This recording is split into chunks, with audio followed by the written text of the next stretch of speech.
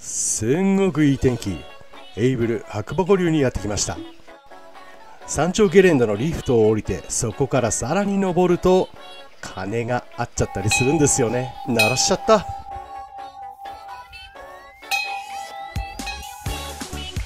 この日はあまりにいい天気でじじい調子に乗って自撮りなんてやっちゃってますよ。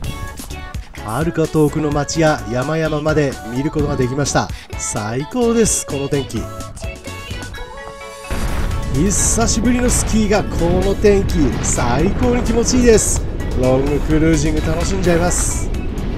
まあと言っても久しぶりのスキーなので本当に体力がついていかない。体調には気をつけましょう。怪我しないようにね。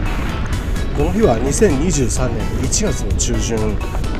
まあ久しぶりの白馬でのスキーということでそしてもちろんブランクもありますからスキーしかりレストハウスでのゲレ食も楽しもうかななんて楽しみにやってきたんです。とにかく驚いたのは海外のお客様の多さ。コロナ前と同じぐらいなんじゃないのって思うほどでした。レストハウスで聞こえてくるのはほとんどが英語。えここカナダですか。なんて錯覚も起こしちゃいますよ。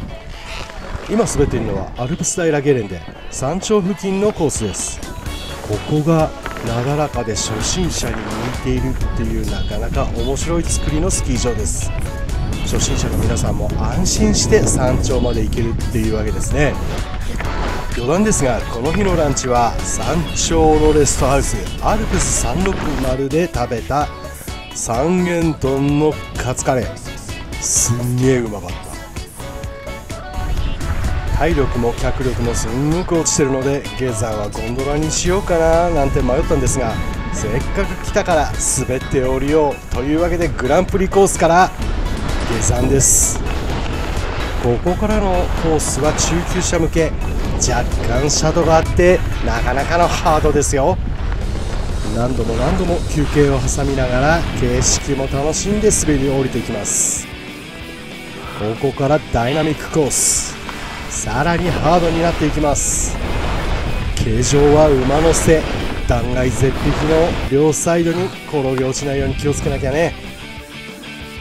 さあエキスパートコースが見えてきた。ここは迂回だ。危ないぞ。ウッディコースで林間コースを堪能します。こういった林間コースは迂回をしながらターンの技術も確認できる素晴らしいコース。と言っても息が上がってもう足はヘロヘロ。超長いコースを休憩をしながら降りていきます。ゴールが見えてきたぞ。エイブル白馬五流の最下部にあるレストハウス。ここには温泉があります。そこに一風呂浴びて帰るのが楽しみでしょうがない。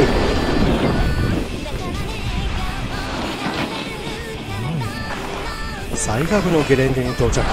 この日は少し気温が高めだったので雪質はやっぱり上部と比べると少し重たい感じ。ロートルには大変ですよ。